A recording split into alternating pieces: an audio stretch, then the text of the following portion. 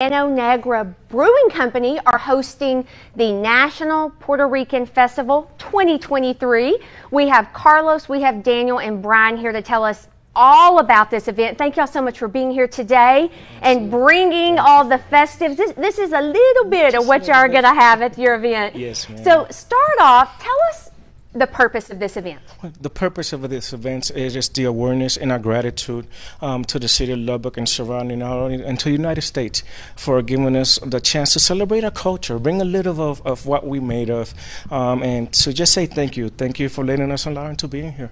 Wow. And this event, it, literally in your notes, you were saying it, it's for everybody. Oh, yes, sir. this is National Puerto Ricans and Friends this year. We, we just decided to, uh, to team up, Mano Negra and I, along with Latino Lubbock Magazine mm-hmm. also sponsored by ATEC, also video um, and Autovision also. So they just we decided to come up and make it. We did it last year; it was okay, but this year is going to be amazing. It is, and I was telling yes. you earlier, it's going to be uh, at the Cactus Alley Courtyard, yes. and mm-hmm. I don't know if that courtyard is going to be able to handle all this fun. Um, yes. Speaking of, let's talk a little bit about what all is going to be at this event. You you got a lot going on. That's right. We have um, a few vendors that we're gonna bring in. Mm-hmm. Um, after that, we're gonna have some uh, food trucks. Actually, like a lot of food trucks, mm-hmm. so that way we have a lot of variety. Um, also, we're gonna have a live music, um, a little bit of contest, a free salsa lesson. Um, from our guy that um, does the salsa for mm-hmm. us at the brewery, mm-hmm. and then also our one of our main events. Um, it's going to be um, uh, wrestling matches wrestling matches. Speaking of, we have Brian here. Tell us a little bit about that and a little bit about you. Well, we're, I'm Brian Ray Rivera. I've been wrestling for 11 years. Um, I run a school here, um, Lubbock Pro Wrestling 101. You can find us on Facebook too. Mm-hmm. Uh, it's just a training facility for you know men and women who wants to be involved in wrestling. Mm-hmm. Um, I'm representing South Plains Championship Wrestling. That's going to be at the National Puerto Rican Festival. Um, we've been around for seven years. Um, we're going to have plenty of matches going on there.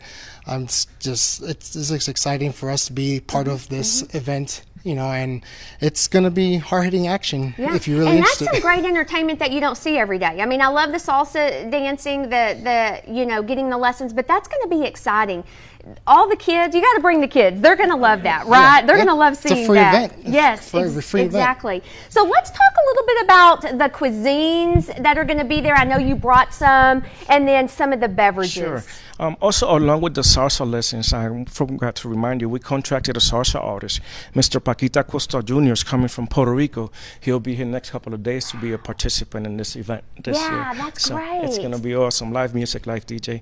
Some of the cuisine that's going to be there, we're going to have Cuban, we're going to have Asian, we're going to have American, we're going to have Caribbean, we're going to have Jamaican. It's coming from all over the world. We decided to do it friends. Yes, there's a lot of big community in town, and the big support is amazing. Mm-hmm. So Carlitos Way, there's gonna be um, Llano Cubano, Rico's Empanadas, Texas Street Heat, Yaya's Place. I mean, we're talking a whole bunch, about 13 food trucks. Wow, my mouth is watering. and then we've got something to wash it down, of course. Of course, we're going to have our famous sangrias. We have like, right now, like seven, eight sangrias on tap. And um, they're going to be ready for, for Sunday. And of course, beer. We have our like six beers on tap ready for you guys. Wow, what a great event, just bringing the community together. Can't we just always appreciate events that bring the community together? Yes, yes. Um, that is fantastic. We're going to put the information up on the screen this weekend. Uh, reach out to either Carlos or Daniel, get more information if you need it. Thank y'all so much for being here. Thank you. Mm-hmm. We'll be back with more after the break.